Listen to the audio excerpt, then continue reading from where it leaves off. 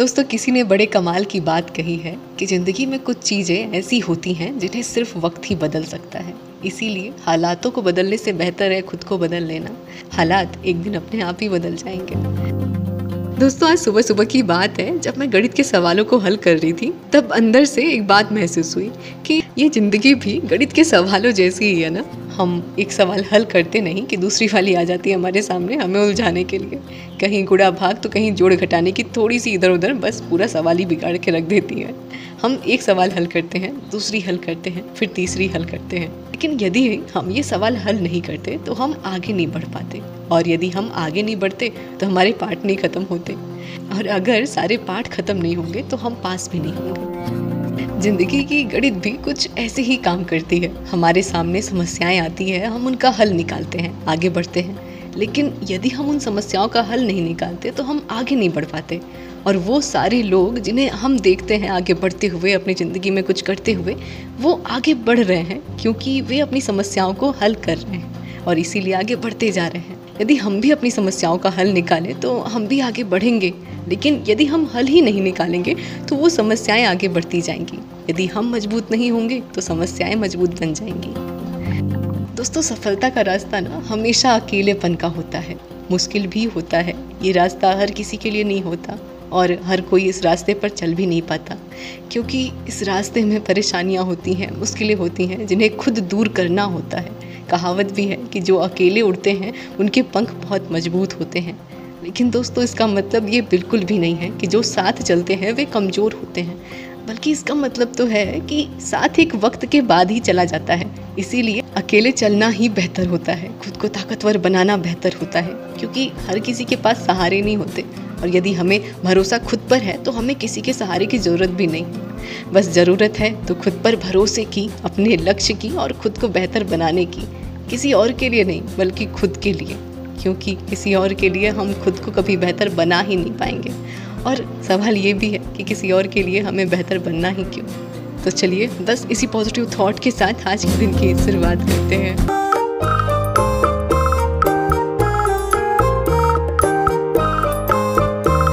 उठ जाओ। अरे हैप्पी बर्थडे सुबह सुबह क्या मिला है आपको? दिखाओ तो। क्या मिला आपको सुबह सुबह स्टूडेंट लड़की से।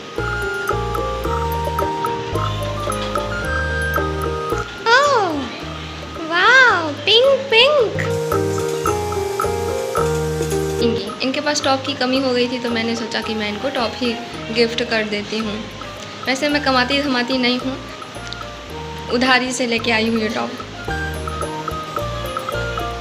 यहाँ लिखा है life is better when we are together हम साथ साथ होते हैं तो लाइफ अच्छी हो जाती है। बाकी मैं आपको क्या देती? आपके पास तो ऑलरेडी सब कुछ है। मैंने सोचा मैं क्या दूँ? मुझे खुशी हुई, आपको कुछ तो पसंद आया मेरा, वरना मैं सोची थी इनको पसंद नहीं आएगा।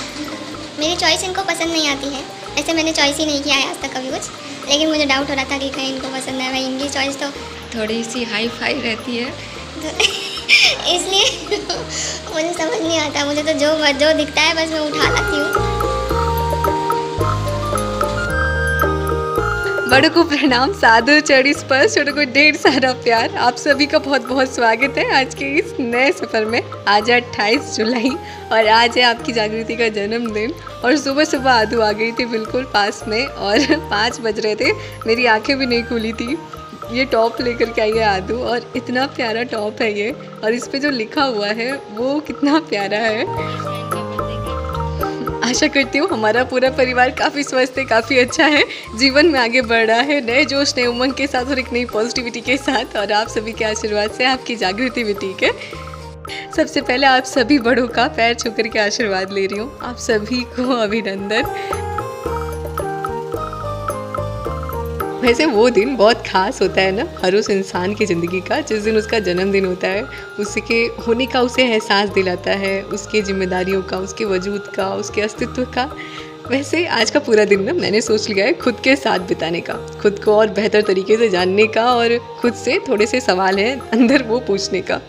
फ़िलहाल सुबह सुबह आज ना हर दिन से अलग शुरुआत हो गई है, सबके मैसेजेस यहाँ पर चेक कर रही हूँ और ख़ासतौर से आदू ने अभी अभी स्टेटस लगाया हुआ था वो चेक कर रही थी। आदू खुद आकर के बोली, दीदी, मेरा स्टेटस देखो, क्योंकि ऐसा हो जाता है दिन भर में ना कि व्हाट्सअप ही नहीं ऑन करती हूँ।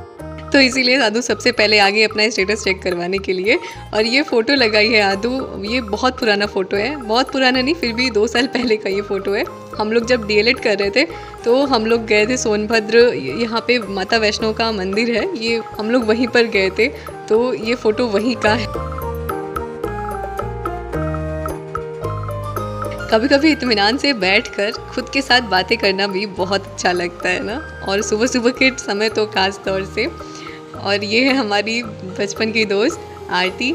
हमारे हर बर्थडे पर आरती ज़रूर आया करती थी, लेकिन अभी शादी हो गई है तो अब नहीं आना हो पाता है। और यहाँ पे टूटी फूटी अंग्रेज़ी में हमने एक दूसरे के लिए अपनी भावनाएँ लिखी हैं। और बचपन में ड्राइंग करने का बहुत शौक हुआ करता था तो ये हमटी डमटी बचपन में बनाया हुआ है। पुरानी यादों को ना इकट्ठा करके उनके ऊपर डेटिंग करना, समय, तारीख सब बाकायदे लिखना बहुत अच्छा लगता है। हम लोग जब छोटे छोटे थे, ये ट्वेल्थ क्लास तक का है सारा। यहाँ पर आरती और हम एक दूसरे को बर्थडे पर ना इस तरह से कार्ड अपने हाथों से बना करके दिया करते थे। और हर साल आरती ज़रूर आया करती थी हमारे बर्थडे पर घर पे। तो वो समय बड़ा अनमोल हुआ करता था। आज वो सारी पुरानी बातें बहुत याद आ रही थी।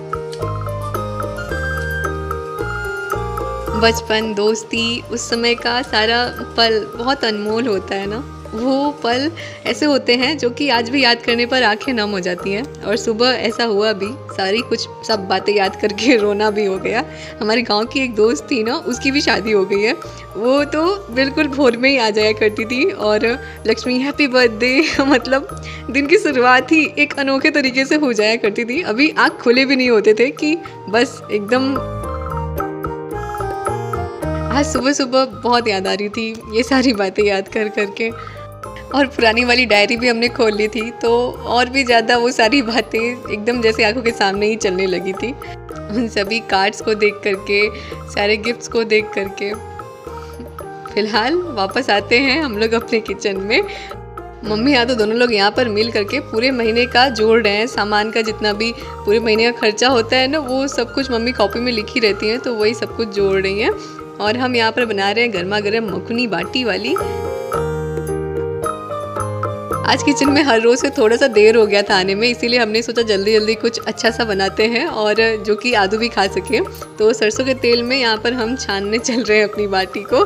क्योंकि रिफाइंड में छानेंगे तो आदू खाएँगी नहीं और सरसों के तेल में बहुत सोन सोन भी लगती है हमारी बाटी। आज तो सुबह से ही आदू जिद कर रही थी सारा काम खुद ही करने के लिए, लेकिन काफ़ी मनाने के बाद आदू जाके मानी और हम यहाँ पर आए नाश्ता बनाने के लिए। आज तेल भी लगाना था बाल में तो तेल बनाने और लगाने में भी थोड़ा सा समय निकल गया।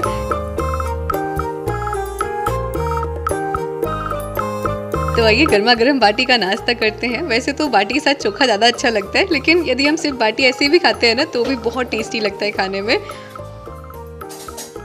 दोस्तों, हमारे जन्मदिन का दिन हमारे लिए बहुत ख़ास होता है। हमें लगता है कि हमारे साथ ऐसा कोई हो जो कि हमें स्पेशल फील कराए, हमें, हमारे इस दिन को हमारे साथ मनाए, हमें तोहफे दे। लेकिन अक्सर जब ऐसा कुछ हो नहीं पाता है तो हम थोड़े से उदास हो जाते हैं, अपनी खुशियों को नहीं मनाते। लेकिन दोस्तों, यदि किसी को याद नहीं है तो हम खुद भी याद दिला सकते हैं, और यदि याद दिलाने पर भी कुछ ना हो तो फिर अपनी खुशियों के लिए किसी और बात का इंतज़ार करना ही नहीं चाहिए। मुझे पता है, आप सभी लोग मुझे बहुत सारे हैप्पी बर्थडे विश कर रहे हैं। यहाँ से आप सभी लोगों के लिए ढेर सारा चॉकलेट भेज रही हूँ। चॉकलेट? सभी लोगों से मिलने का बहुत मन कर रहा है। हमें जैसा, जिस भी तरीके से पसंद हो अपनी खुशियों को मनाना, अपना वो स्पेशल वाला दिन ना खुद के साथ ज़रूर मनाना चाहिए। खुद को एक प्यारा सा तोहफा भी देना चाहिए। ज़रूरी नहीं कि वो पैसों से ही ख़रीदा जाए। खुद पर काम करना भी खुद को दिया जाने वाला एक बेहतरीन तोहफा हो सकता है। खुद को बेहतरी के रास्ते पर ले जाना, खुद को पसंद आने वाली ऐसी कोई भी काम को करना, जो हमने सोचा हो, बहुत दिनों से लेकिन हम कर नहीं पा रहे हों। खुद के लिए ना, खुद का एक अच्छा दोस्त बनना बहुत ज़रूरी होता है। और जब हम खुद के एक अच्छे दोस्त होते हैं ना तो हम कभी उदास नहीं होते हैं, ना ही हम कभी अकेला महसूस करते हैं। फ़िलहाल आज हमने भी अपना बहुत दिन से टाला हुआ काम पूरा कर लिया, कॉफ़ी पीने का। बहुत दिनों से मन था हमारा कॉफ़ी पीने का, लेकिन आदू हमें पीने ही नहीं देती कभी। तो आज हमने मौके पे चौका लगा दिया। आज हमारा जन्मदिन है तो हमें आदू तो रोक ही नहीं पा रही थी तो हम बना के पी लिए कॉफ़ी। और और कॉफ़ी लेकर के हम आ चुके हैं नीचे और बस यहाँ पर थोड़ी बहुत पढ़ाई लिखाई।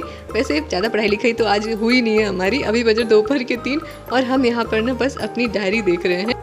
अपनी कुछ कमियाँ, अपने कुछ काम जो कि बाकी रह गए अभी करने को। अपने वो सारे सपने जो हम सजो के रखे हुए हैं उन्हें पूरा करने को। और पिछले एक साल का पूरा लेखा जोखा जो कि हमने सोचा था हमने कितना किया कितना कुछ नहीं किया। और बाकी यहाँ पर आदू आ गई है हमें डांटने के लिए क्योंकि हमने कॉफ़ी पिया है। आदू के रहते हैं ना कभी भी बड़ी दीदी का हमें कमी नहीं खलता है क्योंकि आदू बड़ी दीदी छोटी दीदी सब कुछ है। सर्च छोले भटूरे। अभी मुझे अकेला छोड़ दो मैंने तुम्हें बनाना सिखाया तो है छोला भटूरा। चलो मैं बना देती हूँ। मैं भी सोचूं कब से आदू कहाँ है कहाँ है। नीचे इतना देर हो गया आदू नीचे नहीं आ रही थी। छत पे आकर देखा तो यहाँ पर चुपके से छोले भटूरे सर्च किए जा रहे हैं यूट्यूब पर। खूब देखा जा रहा है।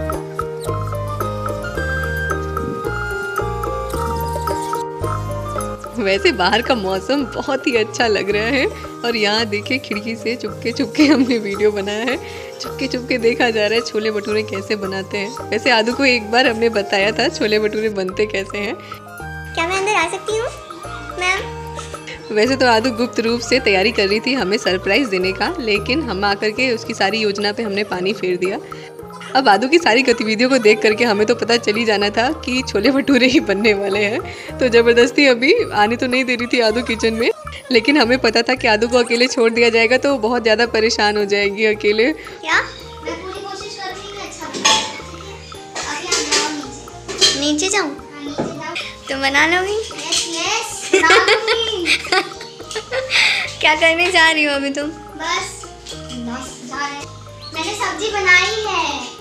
नॉर्मल बहुत अच्छी नहीं बनाई है लेकिन इतना बनाई है कि मुझे आता है तो कोशिश कर मज़ाक ना उड़ाओ अरे नहीं मैं मज़ाक नहीं उड़ाती आपकी फैमिली मज़ाक उड़ाएगी। नहीं नहीं कोई मज़ाक नहीं उड़ाएगा। सब हो गई है इसको बनाने नहीं आता। नहीं नहीं सब तारीफ़ करेगा कि आदू बना रही है। सब बहुत खुश होगा। क्या डालने अजवाइन का तड़का लगाओगे छोला में? हाँ लगाऊँगी में। अजवाइन का तड़का? और ये क्या डाल रही हो? मीठा सोडा हाँ तो सब सीख क्या ही है यूट्यूब से। काफ़ी बोला, काफ़ी मनाया, लेकिन आदू नहीं मानने वाली है। आज तो किचन से मेरी छुट्टी ही गई है तो बस बाहर बैठ करके जिसका जिसका फ़ोन आ रहा था, बातें किए जा रहे थे।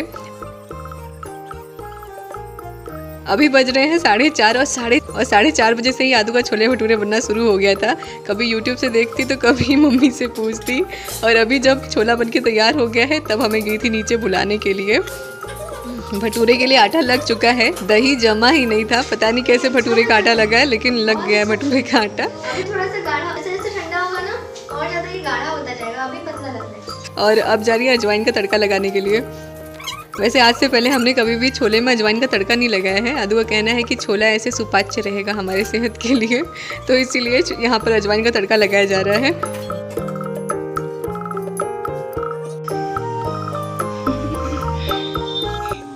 तो आदू अभी कूद चुकी है जंग के मैदान में।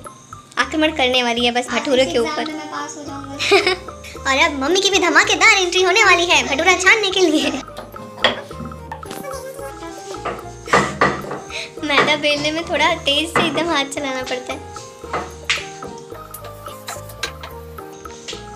दो मैं बेल देती अरे हूँ।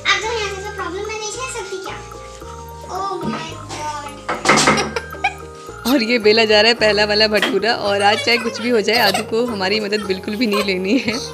वैसे किचन में हमने जैसे ही प्रवेश किया ना पूरा किचन इतना अच्छा महक रहा था छोले की महक से। थोड़ा सा पतला हो गया था तो आदू कह रही थी दीदी पतला हो गया अच्छा नहीं बना है। तो भटूरा फूला नहीं कि आदू की खुशी का ठिकाना नहीं। तो चलिए फूल गया आदू का भटूरा गर्मा गर्म भटूरे छन रहे हैं तो आइए छोले भटूरे गर्मा गर्म खाए जाए। अच्छा खुशी मनाने के लिए खुश होने के लिए कुछ बड़ा नहीं करना होता है। बस हमारा थोड़ा सा प्रयास छोटी छोटी बातें भी काफ़ी होती हैं हमारी खुशियों को मनाने के लिए खुश होने के लिए। क्योंकि बड़ी चीज़ वो है ही नहीं जिसे हम सोच रहे हैं। बड़ी तो वो चीज़ है जिसमें हम खुश हो जा रहे हैं। बहुत टेस्टी बना है छोला और भटूरा आदमी ने बनाया। बहुत बहुत टेस्टी बना है। है। मेरा तो आदू पहले बनाने जा रही थी, उसका भटूरा नहीं चल पा रहा था। ये मम्मी बनाई तो एकदम फूल गया। लेकिन छोला छोला पूरा आदू ने बनाया और बहुत अच्छा बनाया। मैं आ रही थी तो मुझे भगा दे रही थी, दीदी, जाओ, मैं अपने मन से बनाऊँगी। अपने मन से पहली बार बनाई है, बहुत टेस्टी लग रहा है छोला सच में। ज़्यादा तारीफ़ नहीं करते। बहुत टेस्टी बना है। मन तो करता है, ये पल यही रोक दूँ, लेकिन समय रुकता नहीं है किसी के लिए बिना चलिए वैसे नहीं कुछ बातों के साथ अपने आज के सफ़र को यहीं पर समाप्त करते हैं। मिलते हैं अगले वीडियो ब्लॉग में कुछ नई बातों के साथ और एक नए सफ़र के साथ। तब तक के लिए अपना बहुत ख्याल रखिएगा। आप सभी के प्यार और आशीर्वाद के लिए कोई शब्द ही नहीं है। वो अनमोल है हमारे लिए। मिलते हैं अगले वीडियो ब्लॉग में।